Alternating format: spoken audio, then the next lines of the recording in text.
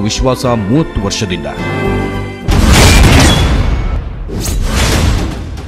ಉದ್ಯಮಿ ಆಲಂ ಪಾಷಾಗೆ ಎರಡು ಸಾವಿರದ ಹನ್ನೊಂದರಲ್ಲಿ ಜಮೀನು ನೀಡಲು ನಿರಾಕರಣೆ. ಬಿಎಸ್ವೈ ಕೇಸ್ ವಿಚಾರಣೆಗೆ ಸುಪ್ರೀಂ ನಕಾರ. ಯಡಿಯೂರಪ್ಪ ಜೊತೆ ನಿರಾಣಿಗೂ ಹಿನ್ನಡೆ. ಮುರುಘಾಸ್ವಾಮಿಗೆ ಮತ್ತೊಂದು ಸಂಕಷ್ಟ. ಮತ್ತೆ ನಾಲ್ವರು ಬಾಲಕಿಯರಿಂದ ಲೈಂಗಿಕ ಕಿರುಕುಳದ ದೂರು. ಮೈಸೂರಿನ ನಜರ್ಬಾದ್ ಠಾಣೆಯಲ್ಲಿ ಎಫ್ಐಆರ್.